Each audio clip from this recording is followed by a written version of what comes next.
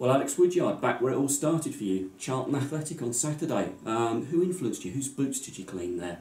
Um, well, I didn't actually get to the stage of cleaning any players' uh, boots, but yeah, no, it was. Um, yeah, growing up, it was you know it was my club I supported because it's local to local to uh, where I live, and yeah, I played for the academy there for a number of years. So there's a few still a few coaches there I, I still know. So yeah, it's, a good place to go back, and um, it's a great stadium to play at as well, and um, it's like a, it's a good you know local London sort of derby. Absolutely. I mean, good memories you're saying that. What kind of teammates did you have back in the day? Do you remember a few of them? Um, yeah, there was, there was a few a few players who uh, have gone on to out of my age group. There's a few players who've gone on to play not a, um, not not at the top level, but you know a few years below like Pigs' age group. Yeah. There was a lot of um, lot of good young talent that will come through, and now a lot of them are playing you know the Premier League and things like that. So yeah, they do produce uh, good young talent. Absolutely. And you were saying when you joined, of course, as well, you mentioned the Wimbledon link, but you just said again there about Charlton as well. So is there a bit of family rivalry on Saturday, perhaps? Yeah, I guess so. Yeah, it's just you know obviously when you I, I grew up in Dartford, so it's not a million miles away from um, from Charlton. So you, you you know you do tend to support your local team. Um, obviously, yeah, like my dad and that, you know, grew up supporting Wimbledon. So yeah, I suppose it's um, it's a good uh, you know family derby. And you mentioned the two clubs as well in terms of the history, going back to home where they've come from. I mean, obviously Charlton going back to the Valley over the years, Wimbledon now back at Plough Lane. There's that kind of aspect, isn't there? Yeah, of course. Both clubs have gone through the sort of the, the, the dark times and come through the um, come through the end of it. So it's great now. Obviously, that we're back at uh, Plough Lane, back at our home. And obviously, Charlton have been back at the Valley now for a number of years. So yeah, it's great. It's great for both clubs. It's the closest thing we've got to really to a derby, particularly around this time in the year as well. What kind of qualities do you need in a derby fixture? You must have played in a few. Um, I think you just got. I think uh, for me, I think you just got to take each game as it comes. Uh, obviously, there's that added little bit of uh, you know you want you want to when you want to get one up on your your, your rival London club. But I think for us, it's just about getting back to um, winning ways in the league. And you know there was a other great way to do it was the other night. Uh, three three nil win, great result from the boys, and um, hopefully we can take confidence from that now, and you know look to build on Charlton, uh, look to build on Saturday, and hopefully go to Charlton and win three points. You're ambitious. You, you made it clear when you came here you didn't come here to survive and make up numbers. How placed, how best placed do you think we are going into twenty twenty one? Um, yeah, definitely. I, I think a few boys have said. Um, a few lads have mentioned that you know we're, we've got a fair few more points on the board than than the, than the side did last year. But um, of course, you've all you know we've all we're all all the boys are all very like wanna you know they've got ambition. So we all want to sort of we all want to do as well as we can. We'll, same time, it's it's all about it's all all about learning and just lately, like I know a few Geffer that's mentioned that we haven't had much time on the on the training pitch to, to keep learning because we still are a young team, yeah. and we still have to, um, you know, just because you know we're winning games and we do it, we are doing well. There's still a lot more, um, a lot more learning to do, and and we, we are doing that. We're, we're grafting.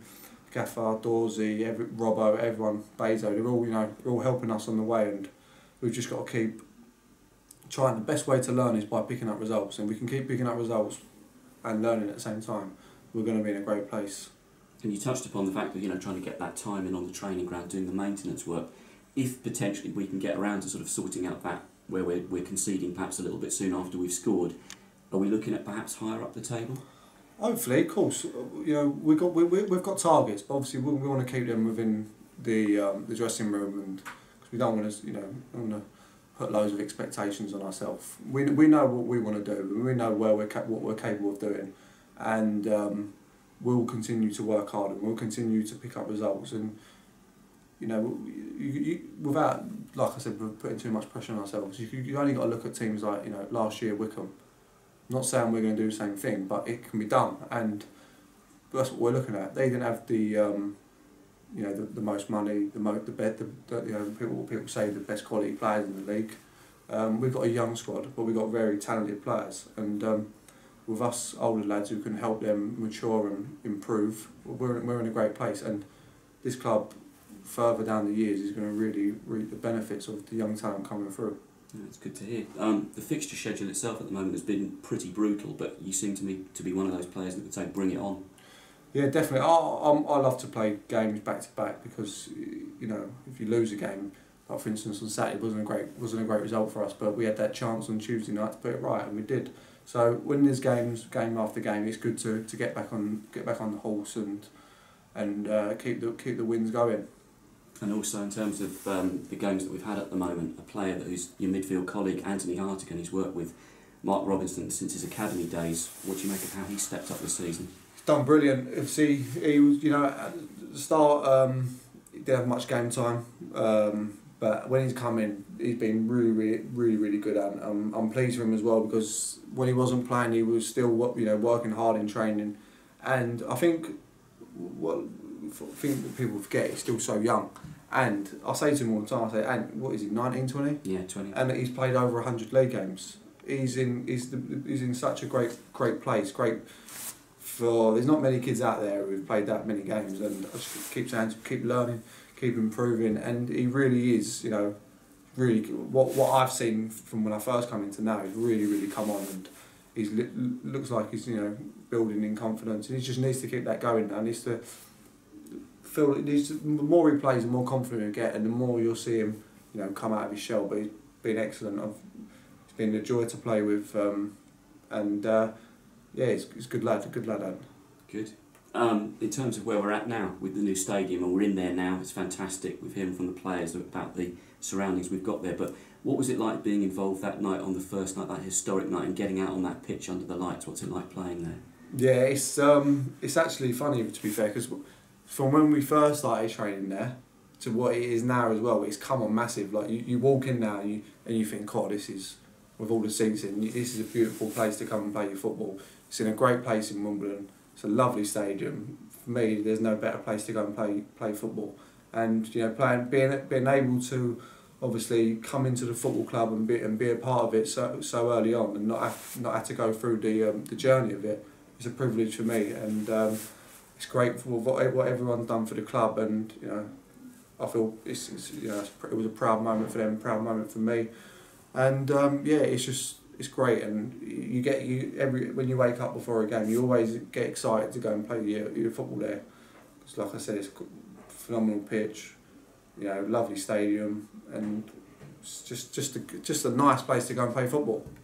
The togetherness amongst this group as well. One other player I wanted to touch upon too is, is on his way back from injury. Um, Luke O'Neill, it's good to have him around the group now, isn't it? Because he's one of those characters you need in this situation. It's keeping him positive too, isn't it? Yeah, of course. Yeah, uh, Luke's um, Luke's doing well. He's um, you know he's coming on, and we've missed him, but he's still a big part of it. He still comes to watch us play, and like you said, he's he's massive in the changing room. He's got he's a big um, bubbly character, big bubbly character, and he's just just a great lad. And you know when he when, when we get him back, that'll be a real bonus as well because. Um, we all miss him. We don't just miss his quality, on, you know, playing. We, we miss his, um, you know, his everyday self around the training pitch, and you know, great lad. Um, he's been brilliant in training. Uh, since he's been back, he's just been firing, firing. What do No, we got to, we got to start again. We got to start. Again. Just let you know.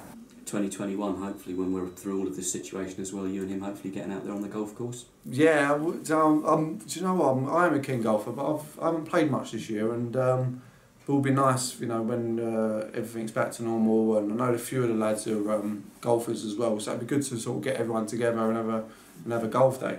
Maybe we'll have a, a an AFC Wimbledon golf day, so we can um, hopefully organise one in the future. Sounds like a good idea, Alex. Great catching up with you. Cheers. Thanks.